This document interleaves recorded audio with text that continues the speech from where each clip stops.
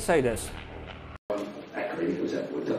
Allora, un medievista più facilmente di altri sente il bisogno di guardare più avanti e più indietro.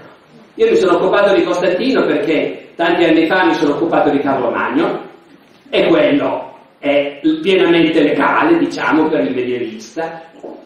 E poi, e poi mi sono reso conto di quello che in realtà tutti noi sappiamo, ma che teniamo sempre a bada, perché se no ci impedirebbe di lavorare. Cioè che per studiare un momento storico dovresti conoscere molto bene quello precedente. E io dopo aver studiato Carlo Magno mi sono detto certo che se ne sapessi di più sui regni romano-barbarici sarebbe un'ottima cosa. E ho cercato di approfondire. Studiando i regni romano-barbarici mi sono reso conto che sarebbe stata una gran bella cosa conoscere bene le invasioni barbariche. E infatti per alcuni anni mi sono occupato soprattutto delle invasioni barbariche. Dopodiché mi è capitato di leggiucchiare qualche cosa sul tardo impero romano e di dire, però vedi, queste cose quanto sono utili per capire bene le invasioni barbariche. Voi direte che sarebbe meglio cominciare dall'inizio ogni volta, ma a quel punto cominceremo sempre dai Sumeri, che nessuno arriverebbe molto oltre. Quindi noi, dire, cerchiamo di cavarcela come possiamo, allargando però le nostre curiosità in quelle direzioni che annusiamo, che ci faranno capire meglio tante cose. In effetti studiare Costantino fa capire meglio, molto meglio Carlo Magno. Aperta una parentesi fa capire anche quante sciocchezze io personalmente ho creduto per tanto tempo e anche insegnato. Io ho insegnato per anni, ma era stato già insegnato a me, che Carlo Magno nel suo testamento divise il suo impero fra i tre figli come se fossero proprietà privata, perché ormai si era imposta la concezione germanica del potere come proprietà privata. Vedo alcuni che annuiscono e che quindi hanno letto anche loro queste cose o le hanno sentite a scuola. Poi studiando, leggendo la vita di Costantino, di Eusebio, di Cesarea, che un germano non sapeva neanche cosa fosse, non aveva mai visto in vita sua, IV secolo, Eusebio di Cesarea dice Costantino alla morte divise il suo impero fra i suoi tre figli come un patrimonio privato.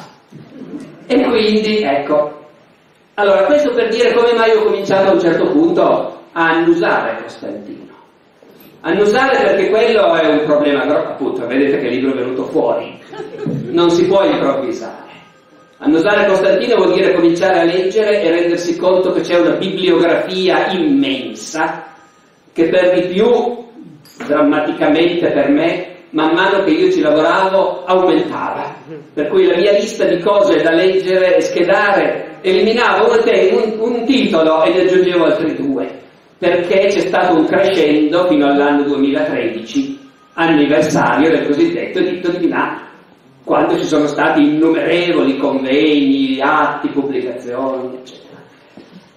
E poi naturalmente il lavoro di uno studioso consiste nel cominciare a informarsi su cosa i colleghi dicono e soprattutto nel fare quell'altra cosa che invece al lettore della divulgazione appunto viene risparmiata, e cioè chiedersi a noi come facciamo a saperle queste cose. E quindi deve andare a vedere quali sono le fonti. Alla fine, se questo libro non è una biografia nel senso tradizionale, non comincia con Costantino nacque nel, e non solo perché non lo sappiamo, ma anche proprio perché queste cose le hanno scritte in tanti.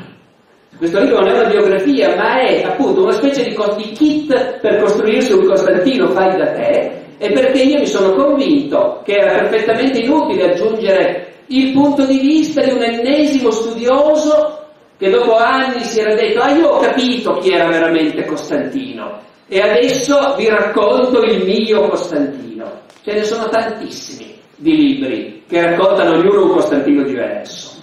Mi sono convinto che l'unica cosa veramente costruttiva per me, perché questo è un libro di ricerca, quindi è scritto per me e per quei colleghi che possono aver voglia di occuparsene, io in questi casi mi sincero sempre che non ci siano rappresentanti dell'editore in sala, mi pare che non ci siano, e proseguo dicendo non compratelo, non leggetelo, a meno che non siate profondamente interessati all'argomento, perché è un libro scritto per me che avevo bisogno di capire e che alla fine non è che abbia capito, però ho imparato tantissime cose sul nostro mestiere. Il libro ha l'ambizione di analizzare tutte le fonti che abbiamo provenienti dall'epoca di Costantino e ancora dei suoi figli. Eh, tutte le fonti vuol dire tutto, non solo le cose scritte, gli edifici rimasti, che non sono poi molti, ma qualcuno memorabile, l'arco di Costantino, le epigrafi di Costantino, che sono migliaia, le monete, che sono migliaia. E perché tutto quello che noi possiamo dire di Costantino sta lì. Tutto quello che non è segnalato in qualche modo in una fonte dell'epoca non lo possiamo sapere. Ma neanche quello che sta nelle fonti lo possiamo sapere. Perché alcune fonti dicono una cosa e altre dicono il contrario. Questo è precisamente il punto. Certo, quando uno comincia ad accostarsi a Costantino, una delle cose più sbalorditive è accorgerti che la, dell'abisso fra le cose che più o meno pensavi di sapere e che tutti sappiamo e quello che invece probabilmente è la realtà, anche se è una realtà elusiva e sfuggente. Quello che tutti sappiamo. Costantino è il primo imperatore cristiano. È un grande personaggio storico perché chiude un'epoca e ne apre un'altra, perché mette fine alle persecuzioni e perché legalizza il cristianesimo e anzi fa qualcosa di più, avvia quella stretta collaborazione tra Stato e Chiesa, che rimarrà un tratto di fondo della nostra civiltà fino, fino alla rivoluzione francese e al risorgimento, e quindi per 1500 anni. È l'imperatore che per la prima volta riunisce un concilio ecumenico, cioè l'idea di radunare tutti i vescovi cristiani del mondo per fargli discutere insieme i grandi problemi, la data della Pasqua, il rapporto tra il padre e il figlio nella Trinità. Ed è naturalmente, anche questo tutti lo sappiamo, l'imperatore che alla vigilia di una grande battaglia a Ponte Milvio, alle porte di Roma, contro un malvagio rivale, Massenzio, poi pare che Massenzio fosse cristiano, secondo alcuni, è sicuramente amico dei cristiani in ogni caso, su quello non c'è alcun dubbio, anche lui aveva messo fine alle persecuzioni, ma pazienza, è uno degli infiniti piccolissimi esempi che potrei rifilarvi come una stilettata per dirvi quanto è lontana la percezione che abbiamo ereditato da quello che le fonti ci dicono. Eh, però tutti sappiamo che Costantino alla vigilia della battaglia di Ponte Milvio ebbe una visione, appunto vide la croce in cielo con la scritta in Oxinio Vinces, in questo segno vincerai anche se abbiamo già anticipato che anche lì la scritta non era proprio. Poi, se uno ha approfondito un po' il personaggio, ci sono anche altre cose che potremmo sapere. Per esempio che Costantino è l'imperatore che ha creato una nuova capitale a Costantinopoli, decidendo di spostare a oriente di migliaia di chilometri il baricentro dell'impero romano, perché Costantinopoli è Istanbul, Costantinopoli è la città incredibile che sta sull'incrocio di due continenti. È la città dove tu stai sulla spiaggia e guardi al di là, c'è un ponte, al di là del ponte è Asia, mentre tu stai in, in Europa. Costantino è quello che trova mirabolante di quel luogo. Però questo vuole anche dire che quello è un impero dove l'Oriente ha acquistato un'importanza enorme e noi noi rischiamo di non averlo ben chiaro questo, perché per noi l'impero romano ovviamente è Roma, l'Italia, poi cosa? La Gallia, eh, no, ecco, eh, la Spagna. Ricordarci che a quell'epoca e anche prima l'impero romano era molto di più che non la Gallia, l'Egitto. E la Spagna era importante, sì, ma non quanto la Siria, sicuramente. E che un romano sul Reno si sentiva agli estremi limiti del mondo civile, anzi già fuori, mentre sul Nilo si sentiva assolutamente nel cuore del mondo civile. Ecco, questa è una cosa che... È, però Costantino quello ha in mente quando trasferisce la capitale, o diciamo meglio, crea una residenza, perché non aveva una capitale, l'impero romano, gli imperatori non stavano più a Roma da un sacco di tempo, andavano in giro di solito ma crea una residenza così a oriente. Bene.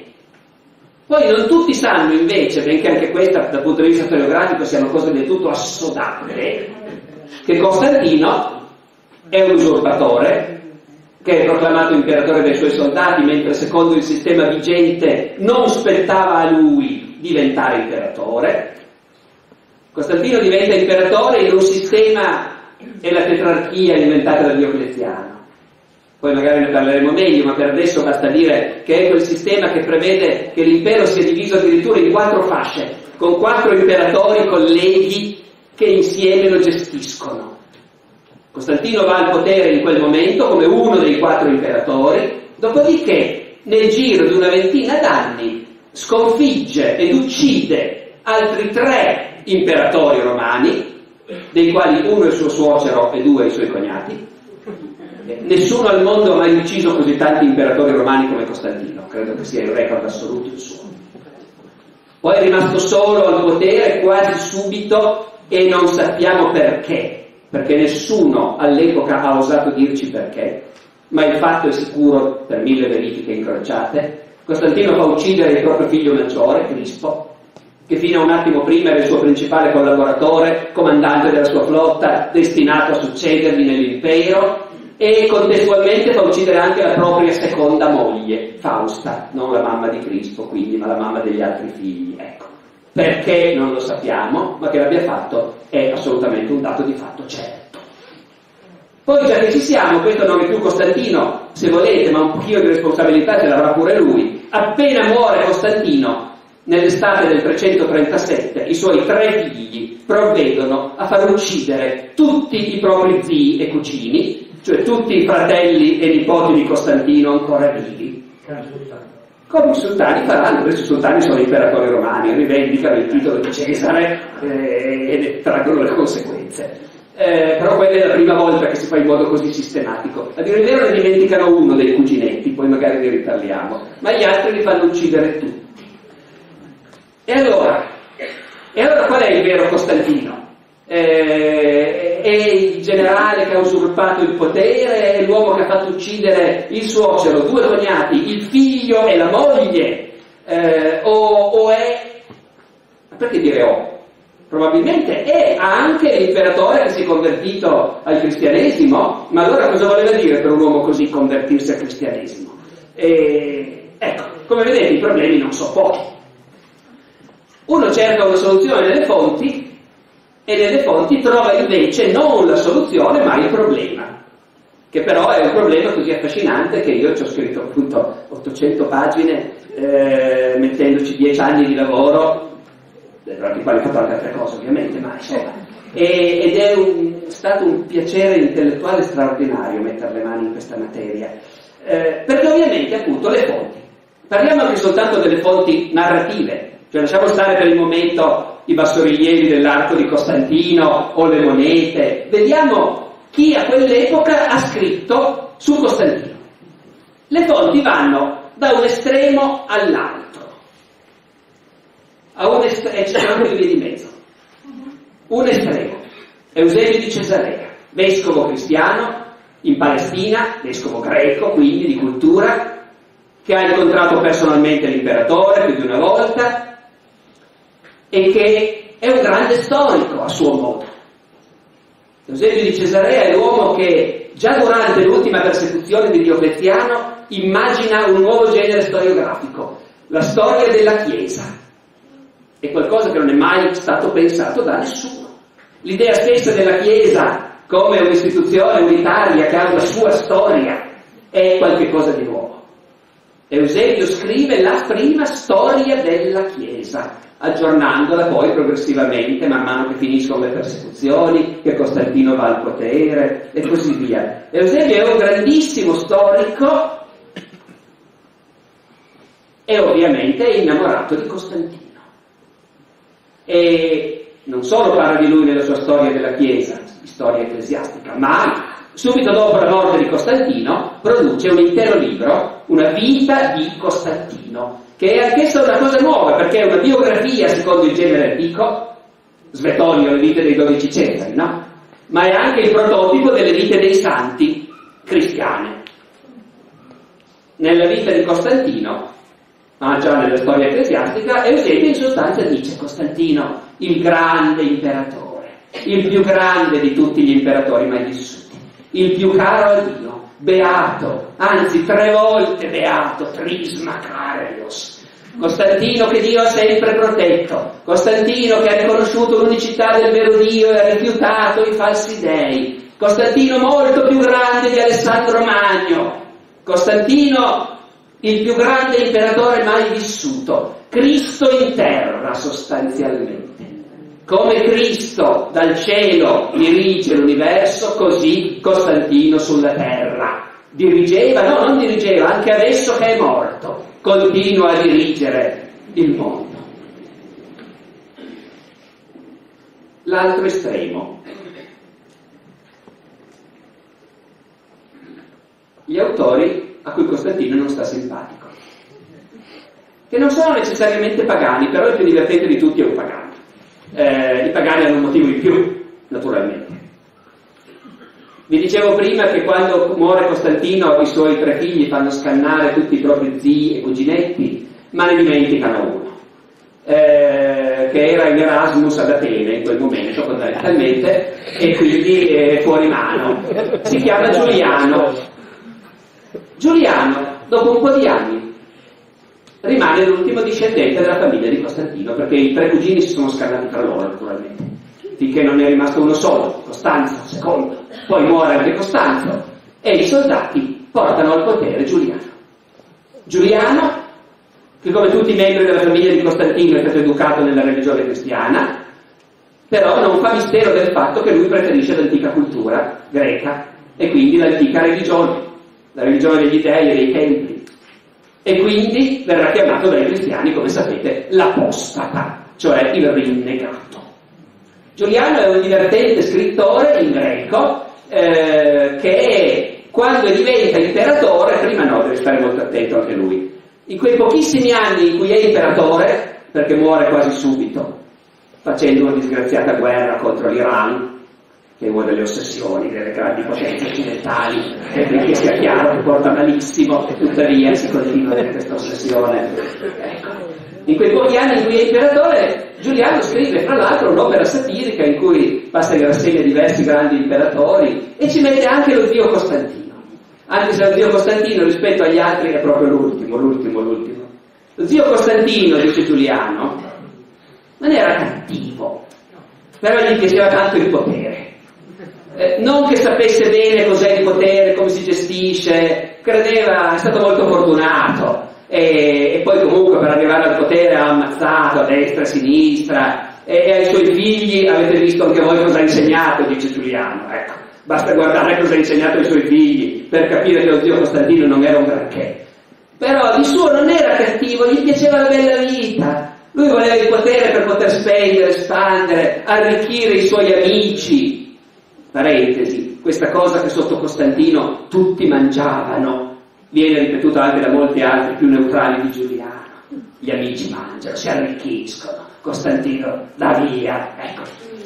Giuliano è un po' più cattivello, anche lui, se, se Eusebio esagera da un lato, forse Giuliano esagera dall'altra. Lo zio Costantino dice di suo, aveva l'anima, gli piacevano appunto i piaceri quotidiani, aveva l'anima di un pasticcere, di una sciampista, avesse fatto la sciampista testuale, eh, giuro, voi mi guardate dicendo se lo sta inventando, invece è proprio così, di una parrucchiera.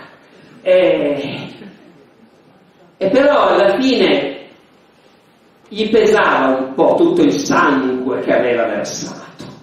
E allora dice Giuliano, a un certo punto allo zio Costantino hanno detto, ma sai che c'è un certo Cresto, Cristo, come si chiama, il quale dice tutti gli assassini vengano da me, tutti i criminali, i delinquenti, non importa, quelli che hanno commesso le peggiori azioni, io con due gocce d'acqua li renderò limpidi e puri come prima. E dice Giuliano, il zio Costantino, non gli è sembrato vero. Si è informato e si è fatto questo. Allora, voi vedete perché noi medievalisti che abbiamo letto Arsenio Frugoni eh, a questo punto ci diciamo, non puoi fare la biografia di Costantino prendendo un'informazione da Eusebio, una da Giuliano, eh no, un momento. L'unico modo serio di lavorare è dire, signori, secondo Giuliano Costantino era questo, e secondo Eusebio Costantino era questo. E secondo altri? Secondo... C'è tutta una scuola di storici dell'epoca, dopo la morte di Costantino, 50 anni dopo, così, che scrivono manualetti di storia romana. Sono quegli autori che si fanno leggere in quarto ginnasio perché scrivono facile, Eutropio. Allora, questi autori di manualetti cosa dicono di Costantino? È interessantissimo. Dicono è un imperatore importante, delle sue scelte religiose non una parola. È un imperatore che ha combattuto una serie di guerre, raccontano quali, e poi ha fatto molte leggi, alcune giuste, altre non tanto, eh, però nel, suo, nel, complesso ha dei chiaroscuri. Ecco, la maggioranza di, quelli che scrivono di storia 50 anni dopo la morte di Costantino dicono sì, eh, bisogna distinguere, ha regnato molto a lungo, questo è vero, 30 anni, ed è importante per passare alla storia come un grande sovrano, aver avuto il tempo di fare tante cose. Uno di questi autori dice, si può dividere il regno di Costantino in tre fasi tranquillamente. E già all'epoca la gente lo chiamava in base a quello che vedeva che stava succedendo. Nei primi dieci anni lo chiamavano Prestantissimus, formidabile. Combatteva i barbari sulle frontiere, i franchi, gli alamanni, vinceva. Nei dieci anni seguenti e sono i dieci anni in cui Costantino fa fuori uno dopo l'altro i suoi rivali. Dice questo autore, lo chiamavano latro, il bandito. Negli ultimi dieci anni spendeva, espandeva, arricchiva gli amici, tutti mangiavano, tanto che lo chiamavano pupillus, rimbambito. Eh, allora, uno dice, ma almeno i cristiani si saranno ricordati qualcosa di meglio?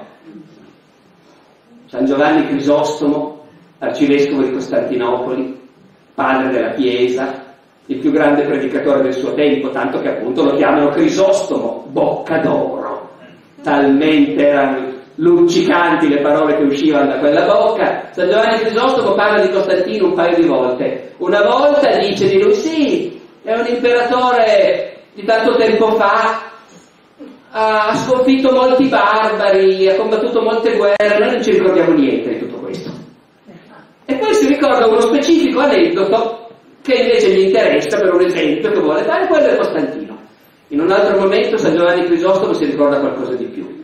Non fa il nome, ma in un sermone il cui tema è la casa dell'imperatore è sempre fradicia del sangue dei suoi parenti eh, San Giovanni Crisoli ci fu un imperatore che fece uccidere perfino il proprio figlio e la propria moglie e così via. Ecco. A questo punto uno dice cerchiamo le fonti a favore, i testimoni a favore. I testimoni a favore ci sono, perché naturalmente siamo nell'impero romano, dove il governo e qui si tratta solo di testimoni a favore, fino all'anno 337, quando Costantino è morto, poi basta. Ma finché Costantino è stato vivo, nell'impero romano, voi sapete, il governo investe immensamente nella pubblicità e nella propaganda dell'imperatore. Stalin era un ragazzino in confronto, ancorché anche lui, in quanto ultimo zar, è a sua volta un imperatore romano, credo che Franco Cardini sia d'accordo con me. La tradizione è quella, la tradizione è quella, sì d'accordo, un ragazzino è troppo, Stalin si è difeso bene, ma era così. In ogni città dell'impero, nell'impero c'erano migliaia di città, ogni anno, molte volte all'anno si tenevano discorsi pubblici per elogiare l'imperatore, per il compleanno, per l'anniversario, per l'anniversario della grande vittoria e così via. E ogni volta tutti i notabili della città si riunivano, questo contemporaneamente in migliaia di città, e oratori c'erano migliaia di persone che campavano imparando a fare questo, tenevano grandiosi discorsi pubblici, il cui tema era sempre lo stesso, come siamo felici. Viviamo sotto l'imperatore più straordinario e meraviglioso che si possa immaginare, che ha fatto questo e ha fatto quest'altro, e gli dei lo proteggono e così via. E poi poi nelle strade dell'impero migliaia di chilometri di strade e su ogni singola strada, a ogni miglio, una pietra miliare e su quella pietra miliare il nome dell'imperatore. E se l'imperatore in quel momento, finché c'è la tetrarchia, ci sono diversi imperatori, e allora ha degli alleati sulle pietre miliari, l'imperatore fa scrivere. Costantino, dopo l'editto di Milano nel 313, si è alleato con Licinio, Licinio ha sposato sua sorella, e quindi a questo punto sulle pietre miliari, nella parte di Costantino, c'è scritto Costantino e Licinio. Naturalmente Dominus Noster, Victor, Invictus, Maximus e così via. E questo su centinaia di migliaia, se non milioni di pietre miliari in tutto l'impero. Poi nell'istante in cui Costantino litiga con suo cognato Licinio e la loro alleanza si rompe, noi abbiamo indizi abbastanza evidenti che ogni singolo governatore provinciale manda una squadra di scalpellini e su ogni singola pietra miliare viene scalpellato via il nome di quell'altro. E poi le monete, Naturalmente che le monete portano dei simboli che possono avere un valore propagandistico, lo sappiamo che noi oggi, anche sull'euro, no, ci sono i capolavori della, no, della civiltà europea. Ma l'euro, grosso modo, le immagini sono rimaste sempre le stesse da 15 anni. E i modelli sono poi pochi, pochissimi. Nell'impero romano si batte un'infinità di tipi diversi di moneta. Il valore può essere sempre lo stesso, ma si cambiano le, le immagini e gli slogan. Per cui sono in circolazione nello stesso momento migliaia di tipi monetari diversi. Non solo, ma succede con enorme frequenza, cioè letteralmente ogni pochi mesi certe volte, che a una zecca arriva un messaggero del governo che dice quella moneta lì non la fate più, invece fate quest'altra. E quindi è una comunicazione costante che viene trasmessa al popolo. E la comunicazione costante vuol dire, da un lato c'è la faccia dell'imperatore, ma l'imperatore può scegliere. Sullo stesso modello ne coniamo un tot con la mia faccia e un tot con la faccia di mio cognato Licinio, per esempio. Poi è chiaro che in quel certo momento arriva l'ordine, l'esemplare con Licinio non si fa più. Invece dato che il figlio Cristo ormai è diventato abbastanza grande, adesso su quel tipo di moneta lì voi farete coniare su metà degli esemplari me, Costantino, con l'elmo, perché siamo in tempi di guerra, fossimo in tempi di pace, invece senza elmo, per esempio. Ogni dettaglio è significativo. E su un altro stock di monete, di esemplari della stessa moneta, ci mettete mio figlio Crispo, anche lui incoronato di alloro in segno di vittoria. Le monete non hanno la data ai noi, ma i numismatici con un immenso lavoro che dura da secoli hanno datato con discreta precisione quasi tutte le monete esistenti. Per cui noi, salvo ogni tanto sbagliare, però grosso modo siamo in grado di dire che quella moneta lì è stata coniata soltanto ad Alessandria d'Egitto dall'estate 327 fino all'autunno 330, per dire, no? Ecco. E allora già soltanto guardando i ritratti uno dice, no, guarda un po' che strano, fino all'anno 326 su metà delle monete c'è Crispo. A partire dall'estate 326 di colpo Crispo è sparito. Certo, vedete, potrebbe essere morto di suo, sono altre fonti che ci dicono che l'ha ucciso Costantino, però una volta che tu vuoi verificare se è vero, ecco. E dall'altra parte della moneta ci si mette quel che si vuole,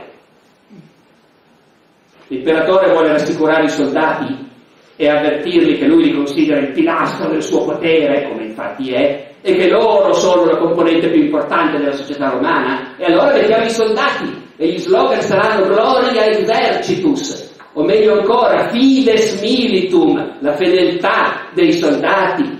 Vogliamo avvertire il popolo che c'è stata una grande vittoria? Facciamo vedere l'imperatore col barbaro sconfitto in ginocchio ai suoi piedi, Alamanni ad evicta, abbiamo sconfitto gli Alamanni. Gaudium Romanorum, godi popolo perché l'imperatore protegge i confini. Vogliamo garantire che l'alleanza in questo momento fra, i, fra me, Licinio e Sicura garantita si apre davanti a noi un lungo periodo di pace? Sulle monete ci mettiamo beata tranquillitas. Ecco. E poi ci mettiamo anche gli dei, naturalmente.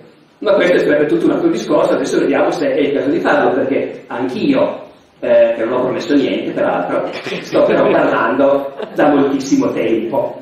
Eh, allora, cosa direi ancora prima di ridare magari la parola a Franco se crede e eventualmente poi continuare, se credete voi, ancora brevemente su qualcos'altro.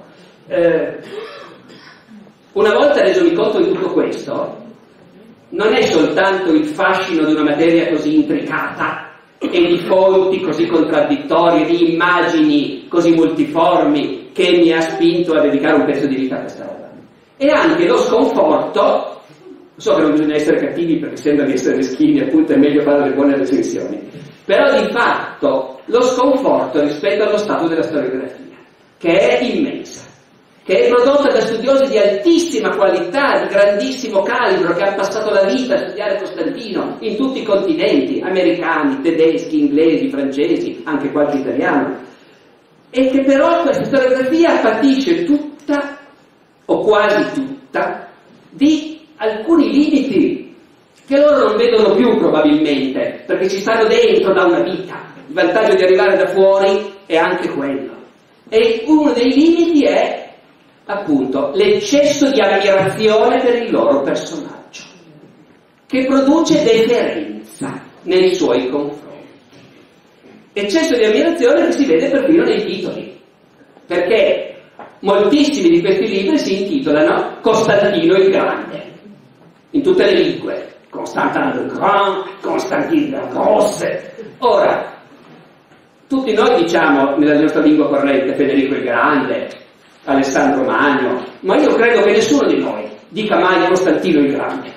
Non è una cosa che è entrata nell'uso, è proprio una deliberata volontà degli storici di, come dire, appunto, ingrandire e magnificare il loro personaggio. E mentre, questo mentre fino a 50-60 anni fa la tendenza degli storici era semmai di dire appunto, vabbè dai, un soldataccio, un, brutale politico, bravo per carità, molto bravo, molto abile, sì, ma insomma, spessore poco, convertito al cristianesimo, ma figurati un po', e avrà capito che gli conveniva. Una volta si diceva questo. Oggi nessuno oserebbe più dire qualcosa che sminuisca la grandezza di Costantino. A me io ho avuto ancora, tranne eventualmente in conversazioni private e spiriti liberi, io ho avuto ancora l'immenso privilegio, pochi anni fa, mentre stavo lavorando a questo libro, di scambiare due parole una volta con Umberto Eco, eh, gli dico sto lavorando su Costantino e lui mi fa era un gran figlio di puttana eh, ma nessuno più lo scriverebbe questo mentre una volta nell'Ottocento lo scriveva come diciamo. Allora questo è un punto e da questo discende un'altra cosa la credulità della storiografia le fonti su Costantino avete visto che cose sono ma ci sono anche cose peggiori ci sono testi che circolano e si presentano come discorsi di Costantino o lettere di Costantino, trascritte da autori dell'epoca. E l'atteggiamento normale dello studioso deve sempre essere in questi casi un momento, andiamo a vedere. Sono essenzialmente testi che hanno a che fare con le controversie religiose, cristiani contro ariani. E noi sappiamo da molte fonti dell'epoca che nelle controversie religiose i buoni vescovi falsificavano alla grande i documenti imperiali. Nelle controversie continuamente si tirano addosso questa accusa. Voi avete falsificato quel documento, non è autentico. Atanasio, grande ecclesiastico dell'epoca, dice espressamente ci sono in giro molti falsari che sanno falsificare anche la calligrafia dell'imperatore. Dunque un minimo di attenzione bisognerebbe farla. Oggi tutti o quasi gli studiosi desiderano disperatamente credere che quei testi siano tutti autentici. Perché è tanto più comodo ed è anche tanto più bello. Hai delle lettere di Costantino, dei discorsi di Costantino. Una volta che hai dimostrato che è falso, eh, e invece se è autentico, quanti bei libri ci puoi scrivere sopra? Ma è veramente una tendenza, come dire, una deviazione mentale, un impoverimento mentale drammatico. Molti di questi testi sono stati trascritti da Eusebio di Cesarea. Io vi ho detto che Eusebio di Cesarea è un grande storico e lo è per l'ampiezza della sua opera, per la novità delle sue concezioni e anche per il fatto che riempie i suoi testi di documenti. Però da lì a dire che siccome un documento lo ha trascritto Eusebio, allora è di sicuro autentico, bisogna fare un po' attenzione, tenete conto che il documento più antico che Eusebio trascrive della sua storia ecclesiastica è una lettera di Gesù al re di Edessa, che sostiene di aver trovato personalmente in archivio e trascritto dal siriaco. Allora, un minimo di cautela ci vorrà, ma 70 anni fa è saltato fuori un pezzetto di papiro in Egitto, un pezzo di papiro di recupero. Da un lato c'era scritto qualche documento notarile e, sul, e dietro dieci righe di un testo apparentemente legale, sembrava una circolare ufficiale.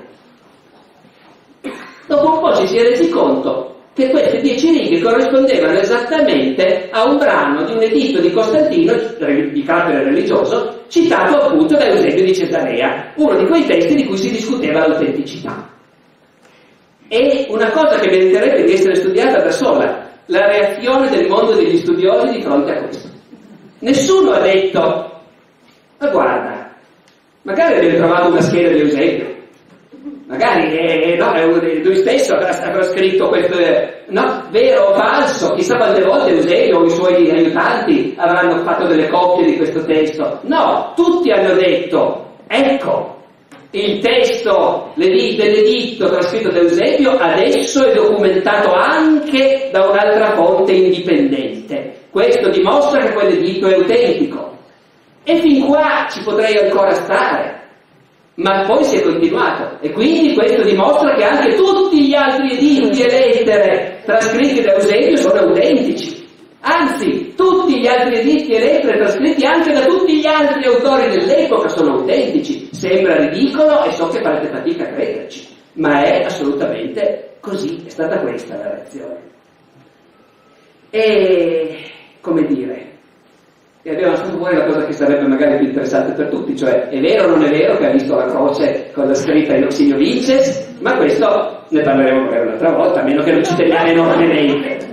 Ditemi voi.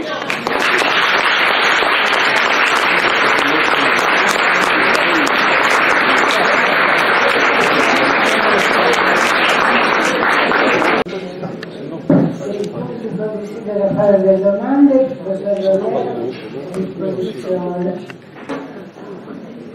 Brevi, eh? 50 metri. Ti pare capire che la prima domanda è appunto parliamo della croce in cielo se, se c'è una fondamentale, un fondamentale accordo su questo, beh, allora lo spazio delle domande cominciamo a giocarcelo raccontando questo. Beh, come dire, non è una storia facile da semplificare, ma ci provo. La vittoria di Costantino su Massenzio è certamente stata ricevuta nell'impero romano come un avvenimento formidabile, mirabolante. Non era affatto ovvio che finisse così, in altre parole, ecco. E la rapidità, la fulmineità, la totalità di questa vittoria ha indubbiamente spa- fatto spargere un po' dappertutto la voce che comunque il cielo era con Costantino. Risultato, Ricordate quei discorsi celebrativi che i retori tenevano nelle città a ogni occasione? Noi ne abbiamo pochi rispetto ai milioni che devono essere stati precitati, noi ne abbiamo pochissimi, qualcuno però ce l'abbiamo. In un discorso tenuto in una cittadina della Gallia 8-9 anni dopo, nel 321 mi sembra, un retore gallico racconta le grandi imprese di Costantino e fra l'altro la battaglia di Ponte Livio e dice tutta la Gallia sa che tu in quella battaglia sei stato aiutato da un esercito di guerrieri celesti, mandati dagli dei, con alla testa il tuo stesso padre, Costanzo, che ormai è divenuto anche lui un dio. Tutta la Gallia lo sa perché tutti abbiamo visto passare i guerrieri celesti che venivano ad aiutarti nella tua impresa. Per qualche strano motivo nessuno storico ha mai detto, beh ci deve essere qualcosa di vero in questo. E quindi questa versione in genere non è largamente conosciuta tranne che dagli specialisti. Ditemi se mi sbaglio, ma ecco. Altri autori, essendo cristiani, si sono immaginati in un altro modo il fatto che il cielo stava con Costantino e lo ha aiutato.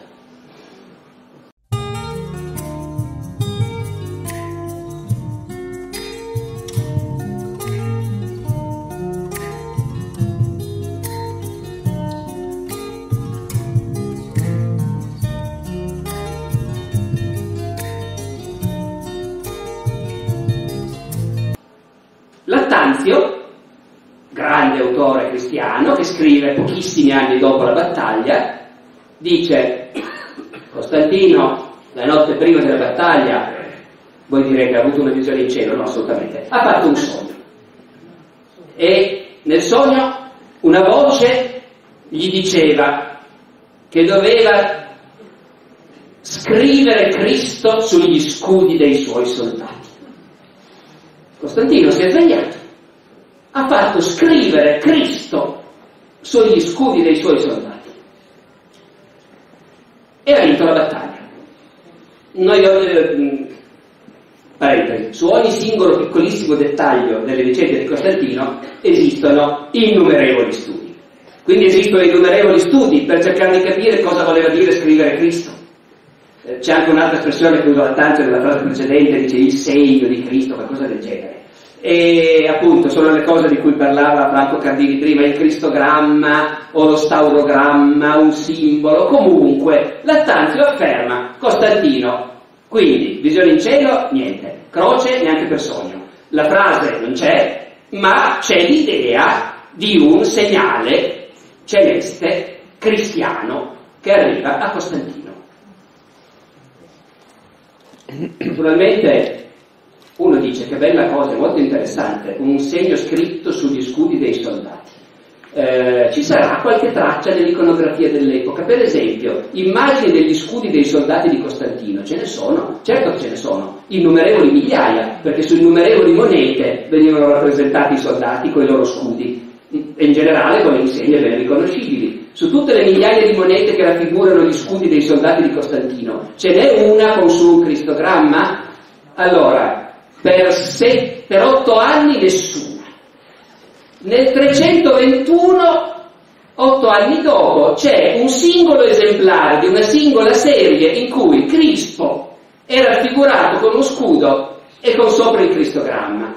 Ma rendetevi conto di cosa vuol dire, di quella stessa moneta ci sono 12 varianti.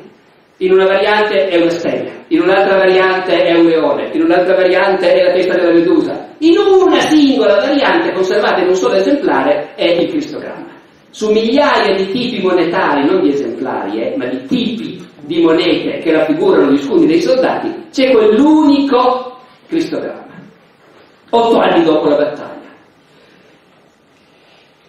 E sull'arco di Costantino non ci sono raffigurazioni dei soldati di Costantino. L'arco di Costantino è stato fatto quasi sicuramente proprio dopo la battaglia di Ponte Milvio, offerto dal Senato per onorare l'imperatore e inaugurato pare nel 315, due anni dopo. I bassorilievi raffigurano proprio i combattimenti contro Massenzio. I soldati ci sono, ci sono, gli scudi ci sono, le insegne sugli scudi certo che ci sono, sono riconoscibili le tradizionali insegne di almeno due diverse legioni le stesse insegne che portavano da generazioni il cristogramma neanche un po'. Ora, devo aggiungere ancora quest'altro dettaglio, sì, aggiungiamo ancora quest'altro dettaglio. Lattanzio che racconta questa storia, cioè il sogno e il cristogramma, è un retore, il quale aveva studiato in quelle certe scuole, e in quelle certe scuole i manuali che noi possediamo, che sono studiati, dicevano quando si scrive l'elogio di un imperatore che ha vinto una grande battaglia, bisogna inventare un sogno propiziatorio. Ma ci sono anche altri testimoni, c'è anche Eusebio. Eusebio scrive la storia ecclesiastica in quegli stessi momenti. Cosa dice Eusebio? Eusebio dice Costantino, il protetto di Dio, vinse la grande battaglia di Ponte Milvio contro Massenzio non aveva sentito parlare di nient'altro. Passano gli anni, cambia il mondo. Nella storia ecclesiastica Eusebio aveva scritto Costantino protetto da Dio ha vinto la grande battaglia contro Massenzio e poi proseguiva dicendo e Licinio protetto da Dio ha vinto ugualmente la grande battaglia contro l'altro cattivo imperatore Massimino d'Alia. I due grandi imperatori protetti da Dio hanno sconfitto i nemici del cristianesimo e hanno portato la libertà di religione. Questa è la prima versione. Poi Eusebio negli anni ha progressivamente fatto piccoli aggiornamenti, aggiornamenti aggiustamenti. Um, dopo il primo conflitto, perché ci sono due conflitti tra Costantino e Licinio, dopo il primo conflitto Eusebio mette in circolazione una nuova versione in cui aggiunge una, una piccola frasetta. In quegli anni Costantino eh, e Licinio, che non era ancora impazzito, vinse la grande battaglia con lei. Poi qualche anno dopo, l'ultimissima edizione prodotta da Eugenio di Cesarea, Licinio non se ne parla più. Costantino, il grande imperatore protetto da Dio. Oh, d'altra parte, per aggiungere ancora un dettaglio, il povero Lattanzio, il quale aveva raccontato del sogno di Costantino, anche lui racconta della grande vittoria di Licinio contro l'altro malvagio persecutore. E Lattanzio dice, Licinio, indovinate un po', fece un sogno quella notte e gli apparve un angelo di Dio e gli insegnò una preghiera. E Licinio il mattino dopo fece ripetere quella preghiera dai suoi soldati e vinse la battaglia. Eh, per qualche motivo anche qui nessuno storico ha mai detto ma ci deve essere qualcosa di vero, Licinio deve aver sognato effettivamente. Invece nel caso di Costantino qualcosa di vero ci deve essere, pensano gli storici. Eh, finalmente passano ancora gli anni. Dopo la sconfitta definitiva di Licinio, Costantino regna da solo per 13 anni. E 13 anni di potere assoluto, quando sei già abbastanza avanti negli anni, possono avere effetti devastanti, credo. Costantino si convince sempre di più e racconta, perché noi abbiamo indizi incrociati che lui raccontava queste cose, Dio mi ha sempre protetto, il Dio dei cristiani mi ha sempre protetto. E finalmente, dopo la sua morte, Eusebio di Cesarea scrive la vita Costantini e dice, quando Costantino preparava la guerra contro Massenzio, non dice alla vigilia della battaglia, che è la versione che sappiamo noi, ma quello è un dettaglio preso invece da, dalla versione di Lattanzio. Eusebio dice, un po' di tempo prima della guerra, Costantino e tutto il suo esercito ebbero una visione. In cielo apparve in cielo il trofeo della croce, con la scritta tutto mica, con questo vinci. Costantino e tutto il suo esercito dunque ebbero questa visione e Costantino seppe da quel momento che e fece costruire un'insegna, un labaro a forma di croce Naturalmente siamo tutti venuti a vedere, c'è sulle monete neanche un po', c'è sull'arco di Costantino nemmeno per idea. Eh, ma al tempo dei suoi figli sì, al tempo dei figli di Costantino sulle monete compare il labro, ma prima no. Comunque, Eugenio prosegue. Lo so che questa è una storia assolutamente incredibile, che non ci credereste assolutamente voi che mi leggete, ma io vi garantisco che è vera questa storia delle visioni in cielo perché me l'ha confidata privatamente il santo imperatore in persona. Allora voi capite, la storia che Costantino e tutto l'esercito hanno visto questa cosa. Vent'anni dopo è necessario che l'imperatore lo sussurri in privato a un vescovo, perché altrimenti nessuno l'aveva sentita questa storia. A questo punto, dato che avete capito come funziona la faccenda, fate voi.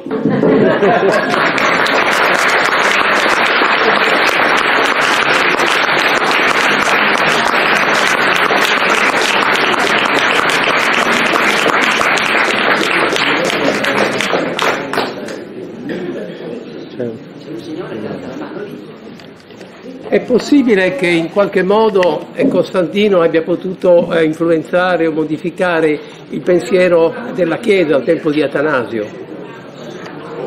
Influenzare il pensiero della Chiesa? Il pensiero conciliare della Chiesa, cioè quello che succedeva nei concili. Ma allora, premesso che anche questa è una questione estremamente dibattuta e su cui esistono opinioni diversissime, però non c'è dubbio che Costantino ha inteso come suo compito di imperatore cristiano quello di aiutare la Chiesa a trovare la concordia e l'unità.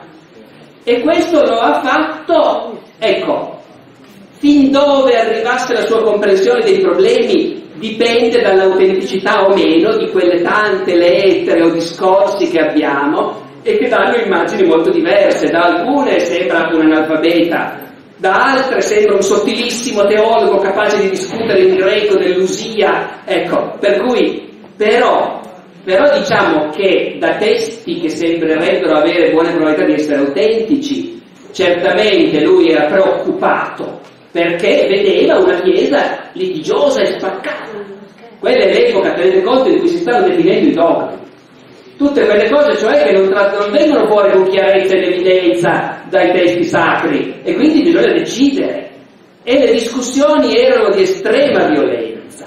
Costantino si trova innanzitutto di fronte al problema della Chiesa africana, dove al tempo delle persecuzioni molti vescovi hanno tradito, il che vuol dire che hanno consegnato alle autorità i libri sacri delle loro chiese. Tradere, e in quel momento che tradere, cioè consegnare, comincia a voler dire tradire nel senso nostro.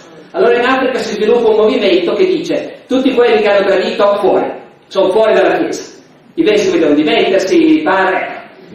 E è un altro movimento che invece vorrebbe conciliare. Costantino, dopo aver sconfitto Massenzio, si ritrova padrone anche dell'Africa, non solo dell'Italia, e viene subito informato che ci sono queste grossissime grane. E lui, che sia già cristiano, come io non credo, o che invece sia già cristiano in quel momento, come alcuni o molti credono, ma che in ogni caso è Pontifex Maximus e quindi responsabile della pace religiosa e dell'ordinato funzionamento di tutti i culti nell'impero, interviene in Africa, convoca vescovi, convoca le controparti, discute, cerca di convincerli a fare la pace e così via. Poi sconfigge il cognatino Licinio e si trova padrone anche dell'Oriente. E c'è una lettera struggente, che se autentica è veramente affascinante, ai vescovi dell'Oriente, in cui dice finalmente l'Oriente da cui viene la luce, da cui è venuta la nuova nostra fede. Eh, io, io pensavo che voi mi avreste aiutato a risolvere questi problemi che ho in Africa e invece scopro che voi siete anche peggio, perché voi state litigando e in, in, in Oriente impazza la controversia appunto ariana, cioè sulla natura di Cristo e sulla Trinità. Eh, generato, non creato, della stessa sostanza del Padre? Ma molti dicono neanche per sogno, creato, non generato, non della stessa sostanza del Padre. Creato vuol dire, quindi non è, non è sempre esistito il figlio? E certo, è stato creato a un certo punto. No, non è vero, è sempre esistito. Mi spiego? Questo genere di problemi. Ora, questa meravigliosa lettera, che io spero che sia autentica, perché è veramente troppo bella, ma voi capite come siamo ridotti, non si può sapere con certezza, Costantino dice ai vescovi dell'Oriente, io sono stupefatto che voi possiate litigare per delle stupidaggini simili. È completamente assurdo che voi dividiate i fedeli su questioni insignificanti che non possono interessare a nessuno e su cui ognuno può pensare quello che vuole. Perciò adesso vi riunite e vi fate il santo piacere di farla finita con questa faccenda.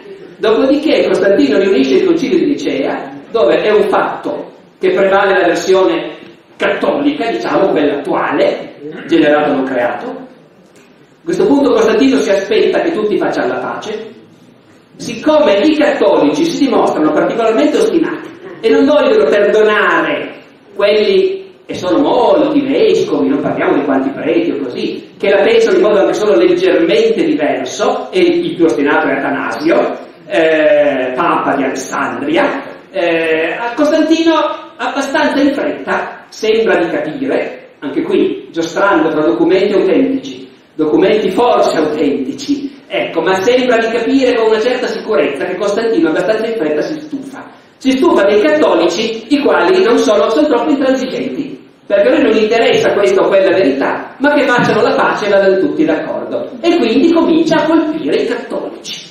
Tant'è vero che negli ultimi anni di vita di Costantino sono mandati in esilio innumerevoli vescovi cattolici, tant'è vero che Costantino viene battezzato in punto di morte da Eusebio di Nicomedia, cioè il capo degli Ariani, eh, tant'è vero che San Gerolamo, qualche decennio dopo, nella sua cronaca, scriverà con Costantino sono cominciati i tempi più duri per la Chiesa.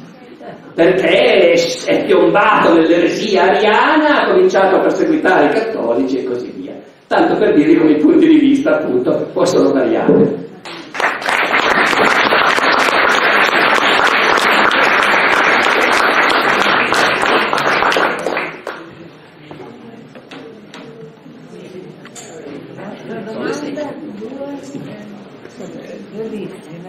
Abbiamo più tempo.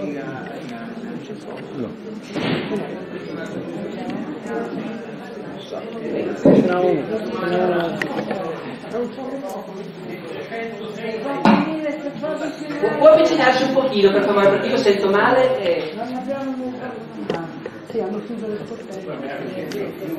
Eh, punto già che lì. Sì, sì. Da storci. Come mai l'impero romano, così potente in quegli anni, cioè, questa è potenza, si parla di potenza, poi crolla imprevedibilmente entro 50 anni, 80 anni.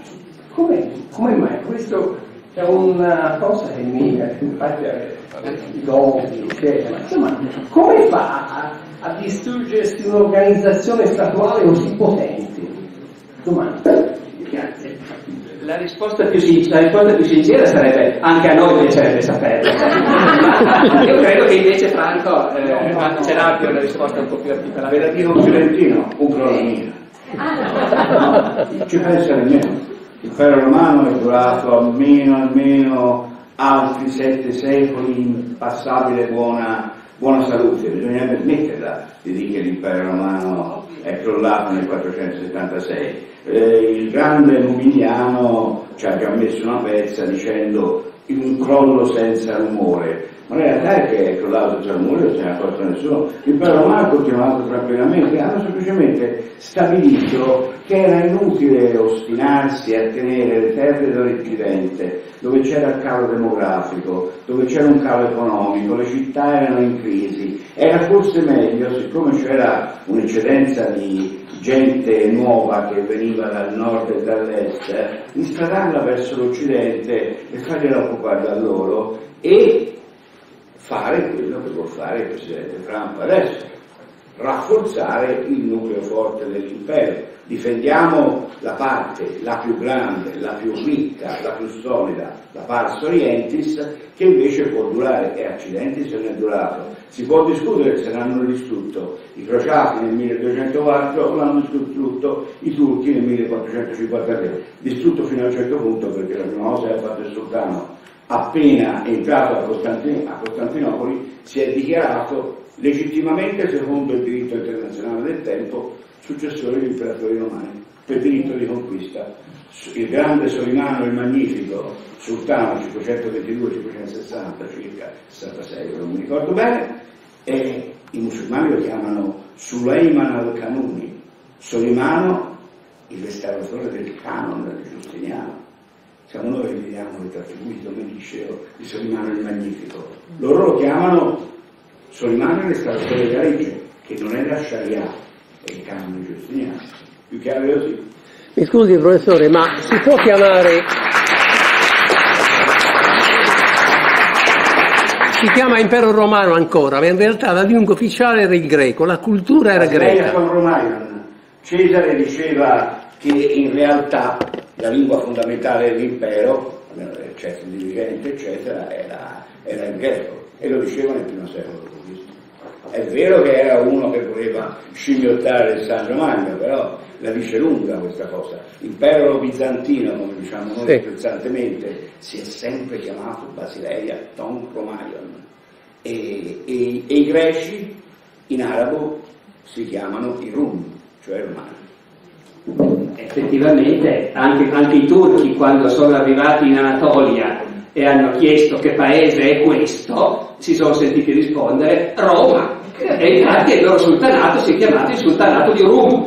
Eh, detto questo, forse un- una cosa che possiamo però aggiungere è che l'impero non è crollato per nulla, ma il sistema economico che caratterizzava il tardo impero romano effettivamente nei secoli successivi è andato abbastanza in crisi per una serie di motivi complessi, però diciamo quando noi diciamo la caduta dell'impero forse abbiamo in mente più di tutto il fatto che crollano gli edifici e non li ricostruiscono, che gli acquedotti si intasano, che le fognature non funzionano più, eh, ecco. e, e quello, quello molto lentamente rispetto alla percezione di una singola vita umana però gli archeologi, i nostri colleghi ci dicono sì, guardate, lì non c'è, niente da fare, è proprio successo eh, progressivamente. E per carità anche il fatto che l'impero abbia deciso a un certo punto di rinunciare all'Occidente e quindi si è rotto quello che era un mercato comune mediterraneo che andava dalla Scozia all'Iraq, si è ridimensionato e poi soprattutto la cosa imprevista è che sono arrivati gli arabi e si sono mangiati metà di quello che restava. Eh, ecco, a quel punto effettivamente... Sì, sì, sì, no, ma nel, ripeto, nell'arco di molti secoli non c'è dubbio che quel mondo è cambiato molto e che dal punto di vista delle capacità economiche e culturali anche si è impoverito progressivamente. Quindi lo scenario della caduta dell'impero romano che abbiamo in mente da quel punto di vista lì non è del tutto fallace, ma appunto non, non perché hanno deposto Romolo Augusto, ecco, diciamo. Poi sempre Occidente, eh, Oriente. Sì, beh, però anche lì credo che dopo l'invasione araba un, un, po, di, un po' di crisi ce l'hanno avuta. Eh. Ah, sì, sì, sì, no, no, beh, comunque è una cosa e quello è il guaio nostro. Noi contiamo i secoli come le noccioline, diciamo certo, tra il IV e l'VIII secolo eh, il mondo romano è declinato. non so se sia.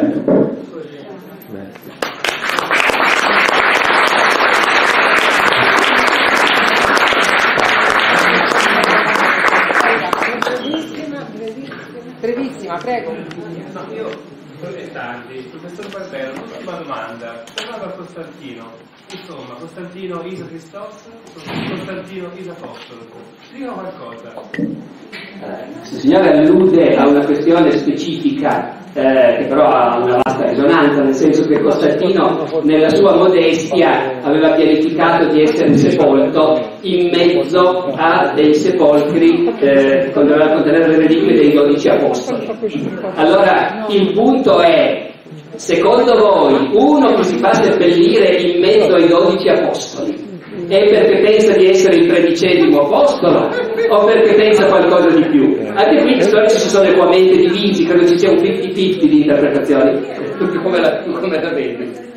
Eh, ma è che si autodefinivano i cristi l'ombra di Dio sulla terra. Non proprio lui, ma e una cosa che si può anche dire è che se Costantino alla fine in realtà ha favorito di più gli ariani, anche Eusebio di Cesarea è molto più vicino agli ariani che ai cattolici, eh, in realtà intendiamoci, e, e quindi ha una teologia in cui il figlio, il logos, pur non essendo solo umano, no, no, è anche divino, però è molto subalterno rispetto al padre. E allora voi capite che più il figlio è subalterno rispetto al padre e più si può dire anche l'imperatore è quasi come Cristo. Eh, perché ecco, e questi sono i discorsi che si stanno facendo adesso, la teologia di Eusebio con questa posizione intermedia, per cui Cristo si abbassa e l'imperatore sale, e allora è più Iso Christos da punto di vista probabilmente. Grazie.